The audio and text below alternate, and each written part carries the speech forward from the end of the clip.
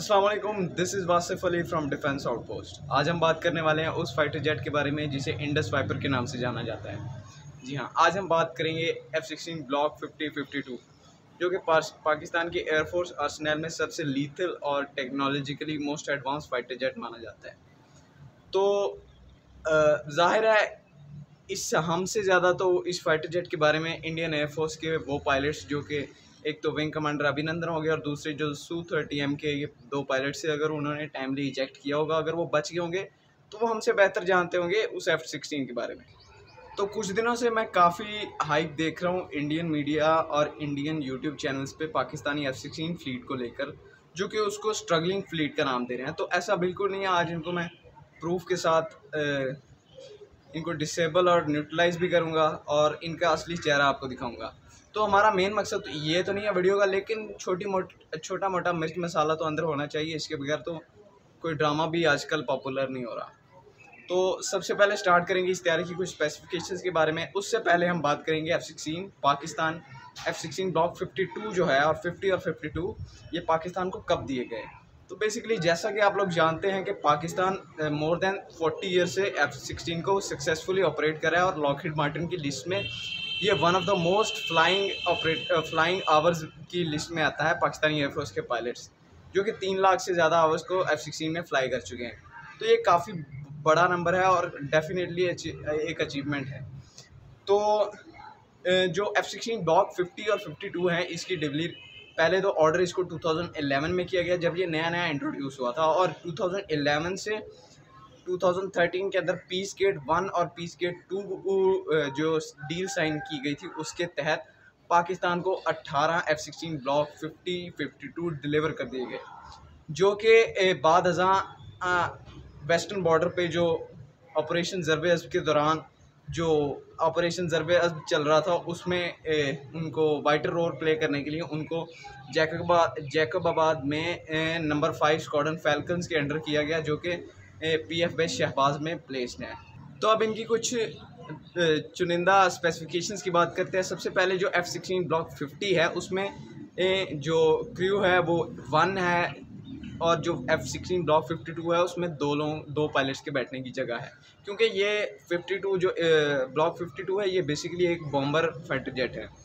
तो उसके बाद बात करते हैं, इनमें इंजन्स की, जो कि बहुत अहमियत की हामिल रखती हैं। एफ़ सिक्सटीन ब्लॉक फिफ्टी में जो इंजन लगा हुआ है, वो है General Electric F one ten और F F sixteen block fifty two जो कि ड्यूल सीटर फाइटर जेट है, उसमें F one hundred fighter jet लगा हुआ है।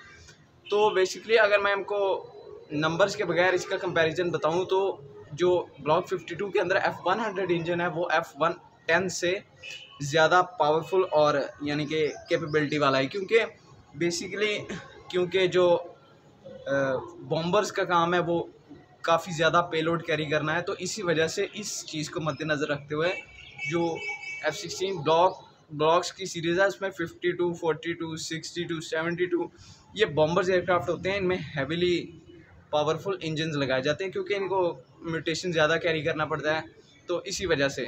इसके बाद आते हैं स्पीड के ऊपर तो अबव सी सी लेवल जो इनकी स्पीड है, दोनों एयरक्राफ्ट की एफ़ सिक्सटीन ब्लॉक फिफ्टी और फिफ्टी टू की, ये mark two point zero five तक जाती है और एट द सी लेवल इनकी स्पीड जो है पॉइंट टू तक जाती है।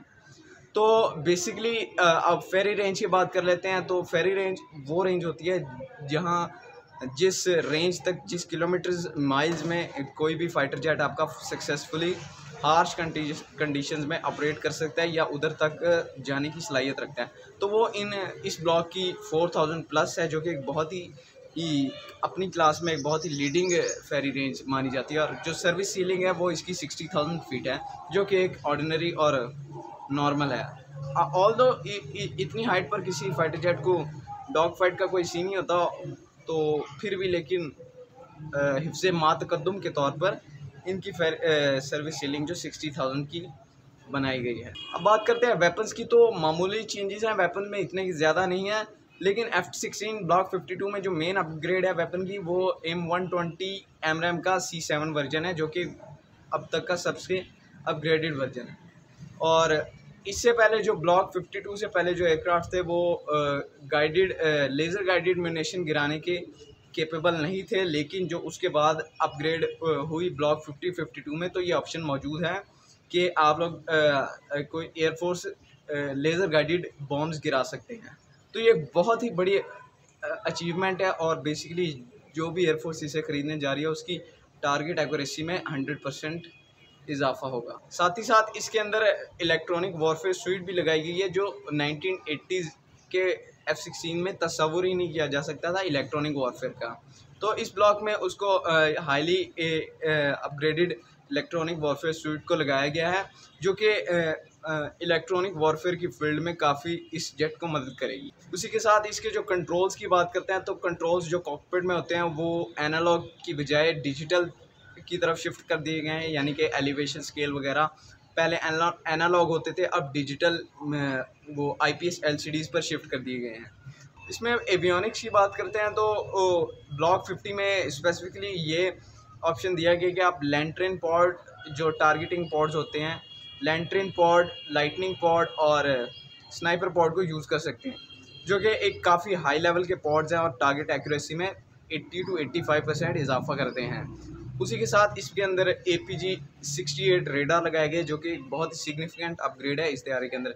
इसकी जो रेंज है वो टू सेवेंटी किलोमीटर्स के राउंड अबाउट है, जो कि बहुत ही डिसेंट रेंज मानी जाती है। और इवन जो ब्लॉक 60 है यूएई एयरफोर्स में, उसमें तो आपको आईआरएसटी स्कैनर भी मिल जाता है, जो कि आईआरएसटी का मतलब है infrared search and tracking system तो ये उन्होंने स्पेसिफिकली अपनी डिमांड्स के मुताबिक लॉकहीड मार्टिन ने लगा के दिया उनको। और उनका जो एयरक्राफ्ट है, उसमें स्पेसिफिकली ए से रेडार भी लगाया गया है, जो अब तक किसी aircraft F sixteen type aircraft में अभी तक नहीं इंट्रोड्यूस किया गया।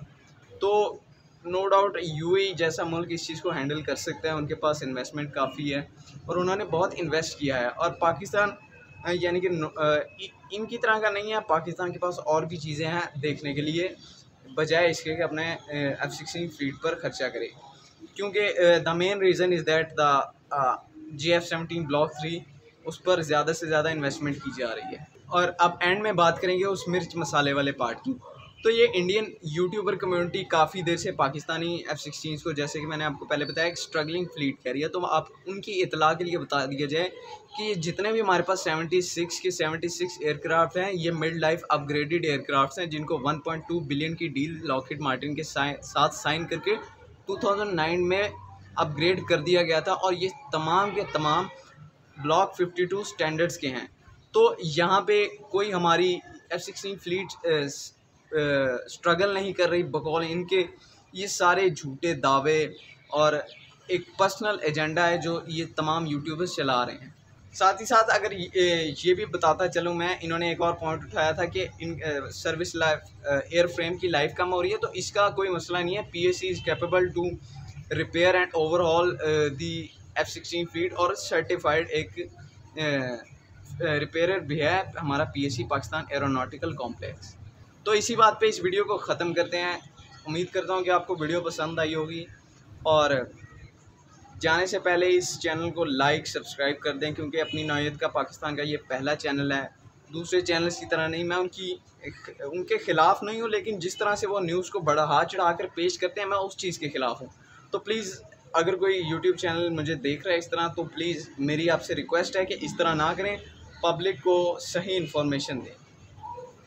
तो इसी के साथ वीडियो ख़त्म करते हैं। लाइक कीजिए सब्सक्राइब कीजिए और अपना फीडबैक कमेंट में ज़रूर दीजिए। अल्लाह हाफिज़।